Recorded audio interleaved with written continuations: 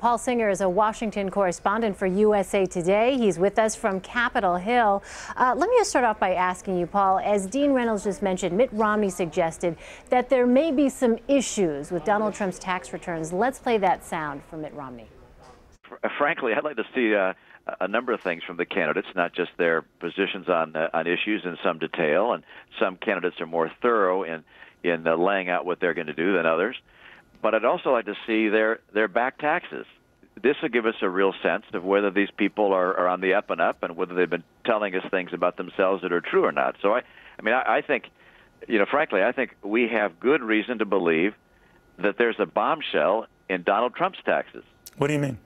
Well, I think there's something there. Either he's not anywhere near as wealthy as he says he is, or he hasn't been paying the kind of taxes we would expect him to pay, or, or perhaps he hasn't uh, uh, been giving money to the to the vets or to the disabled, like he's been telling us he's been doing, and uh, and I think that's uh, the the reason that I think that there's a bombshell in there, is because every time he's asked by about his taxes, he dodges and delays and says, "Well, we're working on it." Frankly, the the voters have a right to see those tax returns before they decide who our nominee ought to be.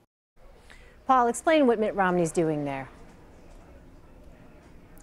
Well, that's a real head scratcher uh, coming from Mitt Romney, who was attacked almost the exact same way uh, by Harry Reid uh, in uh, the 2012 presidential campaign. Harry Reid sort of raising this specter that there was something wrong with uh, Romney's taxes, which never turned out to be true.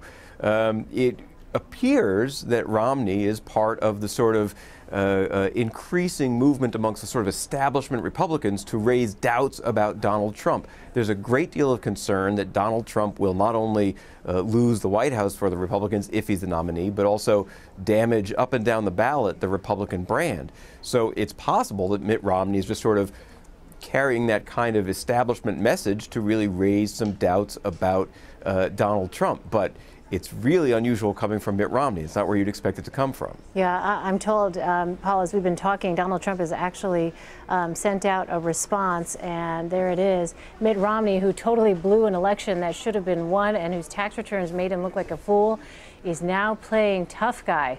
Donald Trump not letting any charge there go uh, unnoticed. Uh, let's talk classic Trump. Classic Trump, absolutely. Let me ask you this: Donald Trump has won the past three contests. Marco Rubio was second in Nevada, and Ted Cruz was third.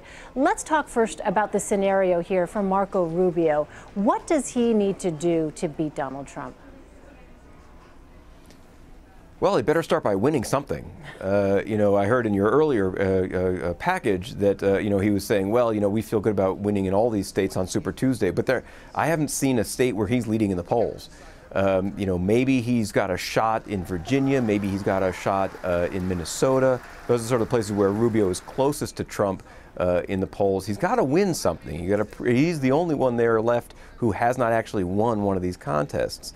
Um, you know, and then going forward, he has to then after Super Tuesday, he certainly has to win in Florida.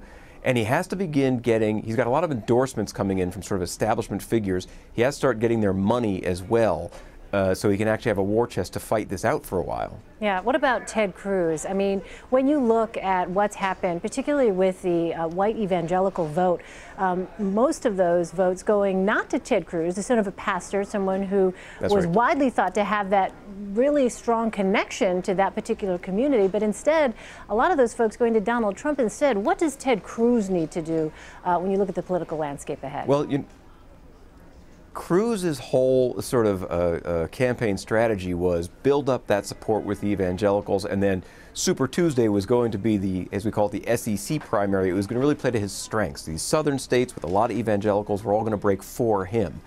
Well, Texas is his home state, and it's he's in the lead, but not by a comfortable margin. Uh, the other states there, Donald Trump is doing very, very well. Cruz has to crush it on Super Tuesday in some of those southern states, in Alabama, in Arkansas, in Texas. If he can't win those and win those decisively, it really raises a question about whether he can beat Donald Trump anywhere else on the map. Yeah, some really high stakes for him. All right, Paul Singer, thank you so much for your analysis. Appreciate it.